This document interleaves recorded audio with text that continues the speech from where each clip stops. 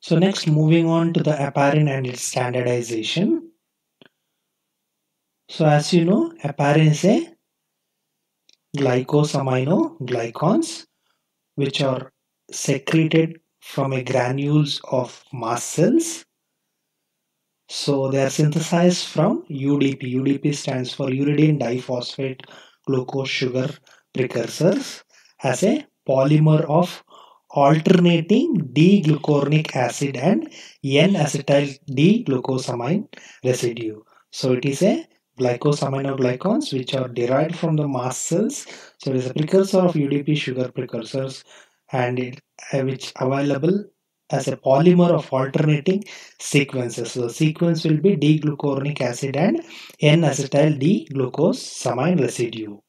So heparin is uh, commonly extracted from the porcine intestinal mucosa which has got a rich mast cells. So various commercial preparations of heparin now are derived from recombinant technologies which have similar biological activities. So coming to the USP unit, USP unit stands for United States Pharmacopoeia.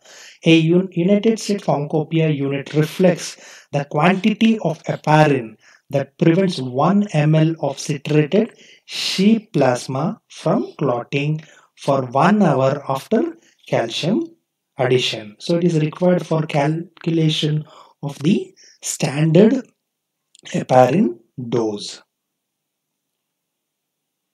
So there is European manufacturers manufacturers which measures the potency of heparin with the help of anti-factor 10A assay. So to determine the heparin potency, the residual factor 10A activity will be calculated. So residual factor 10A activity in a sample is compared with the detected in the controls containing the known concentration of international heparin standards.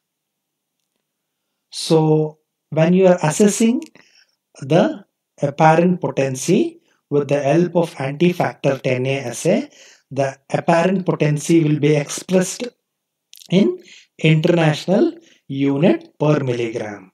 So the currently the US pharmacopoeia unit is less than 10% of the older ones.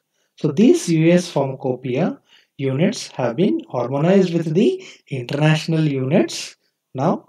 So USP now available is less than 10% potent than the earlier one. Therefore, it requires little higher dose to achieve a anticoagulant mechanism. Thank you.